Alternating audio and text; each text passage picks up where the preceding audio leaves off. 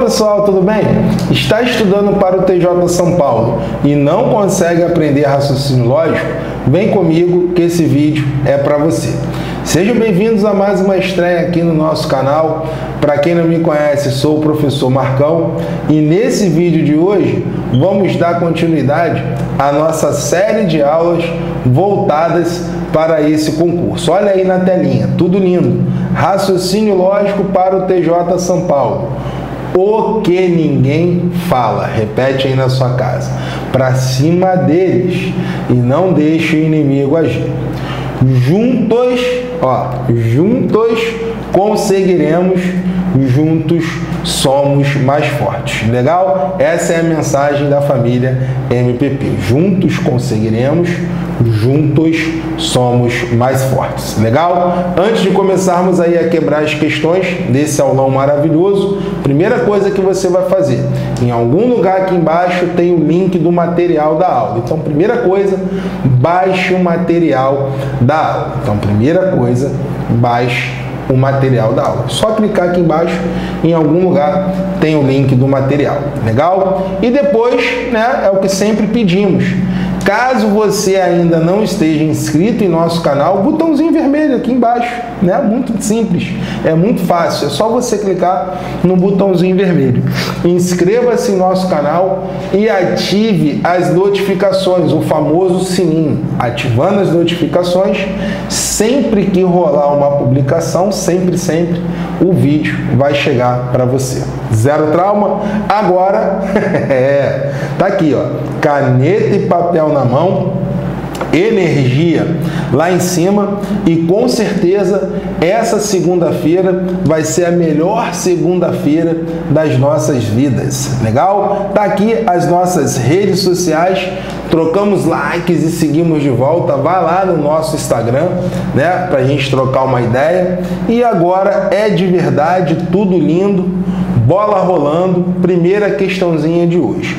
Pessoal, um tema certeiro em prova, independente do TJ ou da banca, é o assunto equivalência lógica. E você não pode errar esse tipo de questão, porque tem uma regrinha que você tem que memorizar. Olha aí a questão que eu coloquei para vocês. É uma questão de um concurso bem atual da banca Unesp. Olha aí. Do ponto de vista lógico, dizer se eu trabalho com empenho, então os resultados serão melhores. É o mesmo que dizer, equivale a dizer, então são expressões sinônimas, né? É o mesmo que dizer, equivale a dizer. Então, pessoal, é um probleminha clássico de equivalência lógica. E qual é a ideia da, equival da equivalência lógica? É sempre a mesma. A condicional, né, ela se transforma em duas. Né? A ideia da equivalência é sempre essa. Uma proposição ela tem o poder de se transformar em duas. Então eu posso transformar essa condicional em duas. Né? Em outra condicional ou em uma disjunção. Pessoal, pense sempre dessa forma. Toda condicional tem outra condicional dentro dela, que é a contrapositiva. O que, que diz a regrinha da contrapositiva? Nega tudo ó, e inverte. Essa é a primeira regra de equivalência. Eu vou colocar até aqui em cima. A ideia é sempre essa. Uma proposição tem o poder de se transformar em duas. Então, resumindo, a condicional ela pode virar outra condicional, segundo essa regrinha aqui, ó, nega tudo, ó, nega tudo. E depois inverte, simples assim. Essa condicional, ela pode se transformar numa disjunção. É quando o sem então ele vira o ou, que é a regrinha da equivalência 2, que é a regrinha do Neymar, né? Nega a primeira parte ou mantém a segunda. Se não for a primeira, com certeza é a segunda. Aplicando a primeira regra. Vamos lá, vamos ver se é a primeira regra. Vou aplicar a primeira. Tá aqui, ó. Primeira regra. Nega tudo e inverte. Então, eu trabalho, vai ficar eu não trabalho. Os resultados serão melhores, vai ficar os resultados não serão melhores. Só que para ser equivalente não basta só negar, tem que negar e, inverter. Então, negando e invertendo, como ficaria a estrutura da frase? Se os resultados não serão melhores, então eu não trabalho com empenho. Se você olhar aí as opções, não temos essa estrutura na resposta. Então, com certeza, ele não usou a primeira regra de equivalência. Se ele não usou a primeira, ele só pode ter usado a segunda, que é a regrinha do Neymar. Como é que a gente aplica a regrinha do Neymar, pessoal? Vamos lá. Troca o C então pelo OU. Ó, primeiro passo. Troca o C então pelo OU. E depois bota o Neymar para jogar. O que, que seria botar o Neymar para jogar? Você vai negar a primeira parte e depois você vai manter a segunda. Simples assim. Negando a primeira parte, eu trabalho, vai ficar eu não trabalho. Mantendo a primeira parte, vai ficar idêntico, né? Vai ficar exatamente como está aqui. Os resultados serão melhores. Fazendo a leitura da equivalência, eu não trabalho com empenho ou os resultados serão melhores. Olhando aí as opções, qual seria a correta? Encontra aí a opção correta e coloca no bate-papo para mim. Vamos lá, deixa até eu sair daqui, porque eu estou cortando a questão para você analisar melhor. Então, vamos lá, dá uma olhadinha aí e qual seria a opção correta.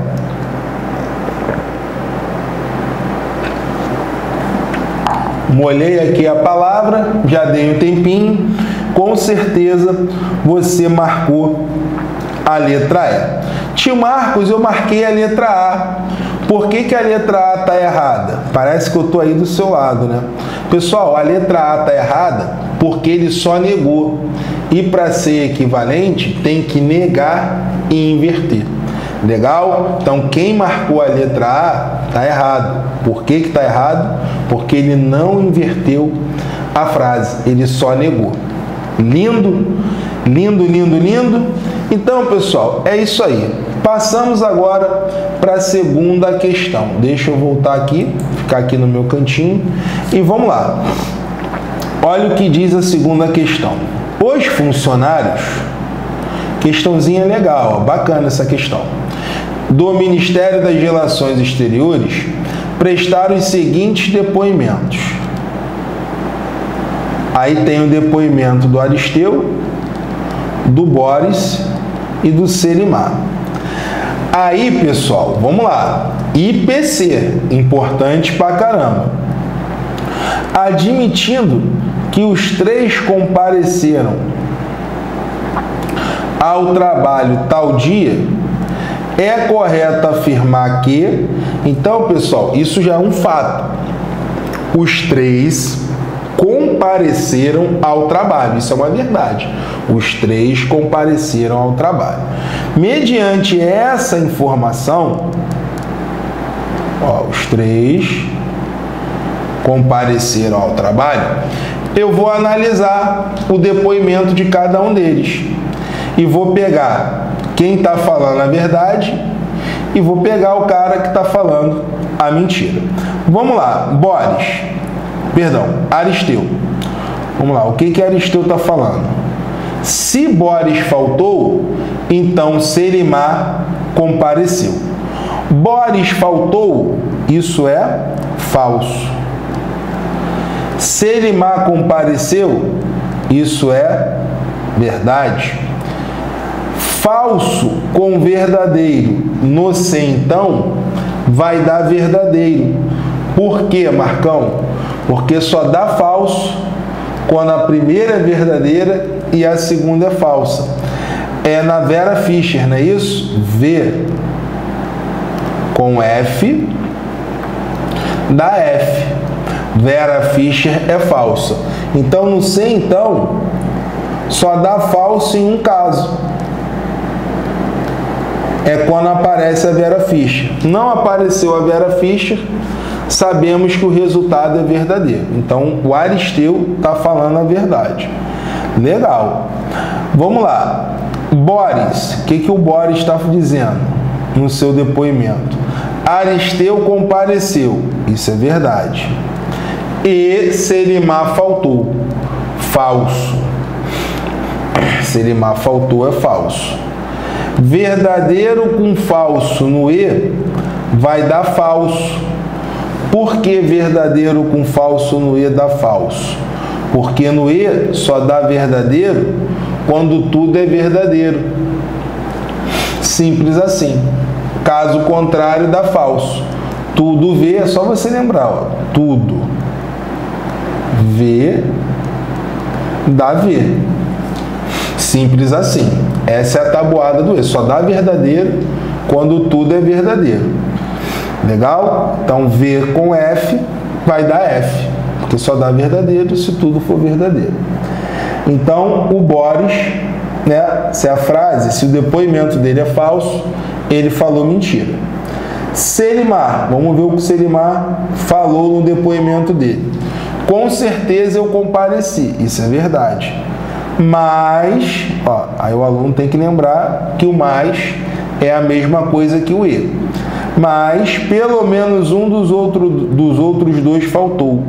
Isso é falso. Verdadeiro com falso no e já sabemos que vai dar falso. Então, pessoal, analisando aqui, eu vou até colocar entre parênteses, para você não confundir, apenas um deles falou a verdade, que foi o Aristeu. Aí você vai olhar ali as opções. Deixa eu olhar aqui para ver se cortou. Não, tranquilo. Letra A. Aristeu e Boris mentiram. Tá fora, porque o Aristeu falou a verdade. Os três depoimentos foram verdadeiros? Também está errado. Só o do Aristeu foi verdadeiro. Apenas Selimar mentiu? Não. Boris também mentiu. Apenas Aristeu falou a verdade? Sim.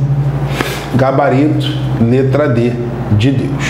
Legal? Questãozinha interessante, mas vamos lá, simbora, passamos para a próxima questão. Próxima questão, pessoal, é de negação. Uma afirmação que corresponde à negação lógica da afirmação é, vamos lá, se o resultado não bateu, então o meio de campo está enrolado. Pessoal, para negar o se então, utilizamos a regrinha do mané. O que, que significa o mané? Mantém a primeira e nega a segunda. Mantém a primeira e nega a segunda. Mantém a primeira e nega a segunda. É o mané. Tá aqui, ó. Então, falou em negação, você vai lembrar do mané. Então, como a gente aplica essa regrinha? Troca o se então pelo e e bota o mané para jogar. Mantém a primeira, mantém a primeira parte e nega a segunda. Então, negando a segunda parte, como ficaria? O meio de campo, o meio de campo está enrolado. Negando, vai ficar o meio de campo não está enrolado. Então, pessoal, já está ali a estrutura da negação. Vamos lá? Anota aí no papel, ó. tem que anotar tudo. Você só vai aprender se você anotar. Como ficaria a estrutura lógica da negação? O resultado não bateu e o meio de campo não está enrolado. Olhando aí as opções, qual que você marcaria? Vamos lá, estou ali no cantinho e vou molhar aqui a palavra. Vamos lá. Com certeza você marcaria de cara a letra A de aprovado no meu concurso aprovadão no meu concurso. É isso aí, pessoal. Então, pessoal, cara, não adianta, é que eu falo para os alunos. Se você não tem as dicas, se você não tem os macetes, resumindo, se você não sabe o método MPP, você não consegue desenrolar as questões. Todo probleminha tem uma dica, tem um macete, tem um famoso pulo do gato. E isso é fundamental. E isso tudo nós explicamos passo a passo no nosso curso do TJ, que no final eu sempre troco uma ideia com vocês. Então, pessoal, é fundamental que você ganhe, que você tenha tempo para fazer a sua prova. Quando eu falo ter tempo, é que você não tem só matemática, você não tem só raciocínio lógico no seu concurso tem os outros assuntos, né? Direito, enfim.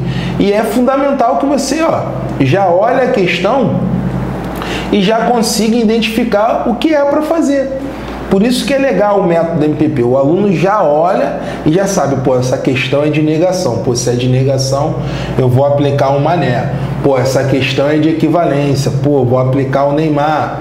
Né? O cara já sabe, de tanto exercitar, de tanto praticar, ele já sabe né, já sabe trabalhar com a banca e sabe como agir na prova, que é o mais importante. E para mostrar para vocês que realmente o método funciona, coloquei aqui um depoimento, né, para a gente relaxar um pouquinho, descansar, né, aliviar a mente. Tá aqui um depoimento. Por quê? Precisamos, cara, compartilhar isso com vocês. Olha o depoimento da Melina. Vamos lá, Rapidex. Gostaria de agradecer aos professores. A didática é maravilhosa. Nunca fui muito boa em matemática e raciocínio lógico. Nunca havia sequer estudado essa matéria. Consegui gabaritar a matéria na prova de procurador, legal, do município que prestei. Mudaram a minha vida. Desejo muito sucesso para vocês e sempre continue assim. Melina. Então, pessoal, isso aí realmente não tem preço e mostra que estamos no caminho certo e queremos mudar também a história da sua vida, né, com a matemática e com o raciocínio lógico. E vamos, vamos juntos. É até o fim tem vários aulões aí no YouTube para você maratonar. É como se fosse uma série do Netflix, né? O Netflix MPP. Você vai assistindo uma aula, não tem vontade de parar, né? Você vai, caramba, eu quero assistir outro. Então, tem aí a playlist né, do TJ São Paulo, tem vários aulões aí para você maratonar. E, cara, no final vai dar tudo certo beleza? E muito em breve, sempre falo, muito em breve eu estarei lendo aqui o seu depoimento. E vamos lá, pessoal, simbora. Mais uma questãozinha aí da Unesp, agora de sequências numéricas. Vamos lá.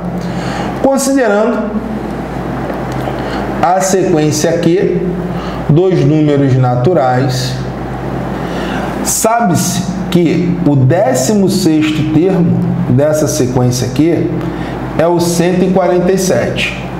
Então, a soma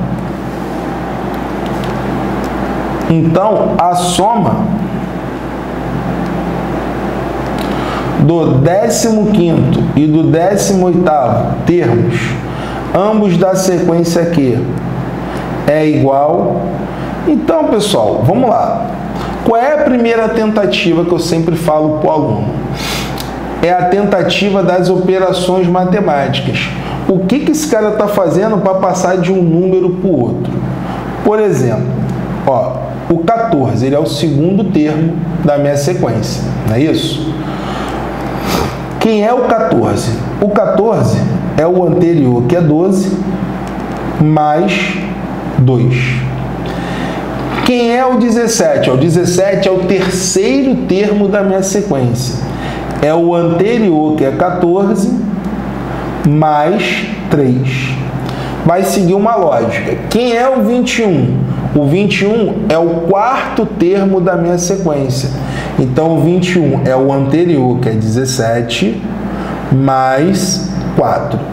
Então, pessoal, está seguindo ali uma lógica entre o termo e a posição que ele ocupa. Vou colocar isso num papel bonitinho para não ter gritaria na questão. Vamos lá. Quem é o segundo termo? O segundo termo. O primeiro. Vou começar. Peraí, deixa eu apagar aqui. Para colocar bonitinho para você entender. Quem é o segundo termo? Q2. É o 14, não é isso? É o anterior 12, é o anterior que é 12, mais 2. 12 mais 2 vai dar 14. Quem é o terceiro termo da minha sequência, o Q3? É o anterior 12, perdão, é o anterior 14 mais 3. 14 mais 3 vai dar 17. Quem é o quarto termo da minha sequência? É o anterior, que é 17, mais 4. 17 mais 4 vai dar 21. Então já pegamos a lógica. Aí eu já vou lá para frente aonde ele está perguntando a soma do 15 com o 18. Então tem que achar o 15 e o 18. Só que ele está me dando o 16. O 16 vale quanto? 147. Só que quem é o 16? O 16 é o anterior, que é 15, mais 16. Então aqui eu já formei uma equaçãozinha tranquilão na nave, eu vou resolver essa parada. Então, Q15 é o 15 termo. Deixa eu melhorar isso daqui que eu já ia fazer besteira, o inimigo agindo. Então, quem é o 16? É o 15 mais 16, não é isso? Isso aí, pessoal, tem que ser igual a quanto? A 147. Então, o 15º termo vai ser igual a 147 menos 16. Isso daí vai dar 131. Já achei o que ele queria. Já achei o 15º termo. Para matar a questão, eu tenho que achar o 18º. Já achei o 15º. Para matar a questão, eu tenho que achar o 18. Só que para achar o 18, eu preciso do 17. Ó, quem é o 17?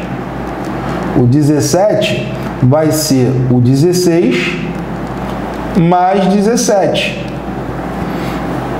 Sim ou não? Então, o 17 já tem como eu achar. Vai ser o 16, que é 147, mais 17. 147 mais 17 vai dar 14, vão 1, 4 com 1, 5, com 1, 6. Vai dar 1, 64. Bom, se eu tenho 17, eu tenho 18. Para dar um fatality na questão. Quem é o 18? É o 17 que é 164, mais 18. 164. Deixa eu apagar aqui. 164 mais 18. Vou fazer aqui a sominha. Isso aí vai dar 12, vou 1. 6 com 1, 7. Com 1, 8. Vai dar 1 82. Então, o 18º termo é quanto? 182. Somando, como ele pediu né, na questão, ele quer a soma do 15 com o 18. Se eu somar o 15 com o 18, vamos lá, matemática básica, eu tenho que fazer a continha vai ficar 131 mais 182, vai dar 3. 8 com 3, 11 vão 1. vai dar 313. Olhando as opções, gabarito letra C, e essa foi a nossa última questãozinha. Eu não acredito. É isso aí, pessoal. Essa foi a nossa última questão e não vai embora, né? Primeiramente, gostaria de agradecer aí a presença de todos. Deixa eu dar uma olhadinha, não, não está cortando nada. Zero trauma, estão ali no cantinho. Gostaria de agradecer a, a presença de todos. Com certeza esse aulão vai ser importante para você na sua caminhada aí do TJ São Paulo e estamos aqui sempre, sempre, sempre para ajudar. Legal? Então, pessoal, pensando em vocês e acreditando muito na antecipação, aquele aluno que espera o edital sair, eu sempre falo que isso é muito perigoso. Tem gente que consegue passar, tem aluno que consegue passar, com certeza. Mas tem aluno que entra em pânico e cara, e não consegue desenrolar, porque ele tem muita dificuldade. E da prova para o edital, geralmente é pouco tempo. O aluno que tem dificuldade, ele não vai conseguir aprender naquele curto espaço ali, né? Três meses, dois meses para a prova. Enfim, mas aí vai de cada um. Mas estou te dando aqui uma ideia, estou te dando aqui uma orientação para você mandar bem na prova do TJ São Paulo. Então, se você está se preparando para o TJ São Paulo, está aqui uma grande oportunidade para você antecipar seus estudos. É o nosso módulo completo do TJ São Paulo, é um curso específico para o TJ São Paulo e esse curso está com quatro bônus, além de ter todo o conteúdo programático de matemática e de raciocínio lógico. Ficou interessado? Quer saber mais? Clica aqui embaixo no link do curso e lá, com certeza, você terá todas as informações necessárias e o valor do seu investimento. Caso você tenha alguma dúvida, entre em contato com a gente através do nosso WhatsApp, que está aqui na descrição do vídeo. Né? Melhor, o Júnior está né? Tá aí, é um dos nossos colaboradores, ele está aí exatamente para isso, para tirar todas as suas dúvidas. Ele está aí no chat, ele deixa sempre o contato dele, que é o WhatsApp, e você fala e ele vai com certeza esclarecer todas as suas dúvidas. Ah, Marcão, quero fazer outro concurso. Cara, fala com ele que nós treinamos, nós treinamos e ele com certeza vai saber te dar a informação correta. Legal? E, como sempre, você já está ligado aquela mensagem maravilhosa que deixamos para você. E essa mensagem, como eu falei, eu vou continuar com ela, porque uma hora vai entrar na tua mente isso daí. Ter problemas é inevitável. É o aluno reclamão, é aquele aluno que inventa desculpas para as derrotas. Cara, todo mundo tem problemas. Todo mundo, todo mundo. A zona da confusão é a maioria. É a maioria. Tem conta para pagar, chega cansado em casa, faz faculdade. Cara, tem que estudar, não tem jeito. É a única forma de você mudar a história da sua vida. Então, ter problemas é inevitável. É inevitável. Agora, olha lá. Ser derrotado por eles é opcional. Cara, dê sempre o seu melhor. Porque o sofrimento, ele é passageiro, vai acabar no dia da prova. E o cargo é para a vida inteira.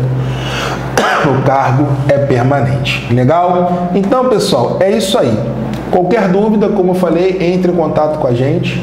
E matemática é o que, pessoal? Para passar. Uma boa noite aí a todos. Valeu!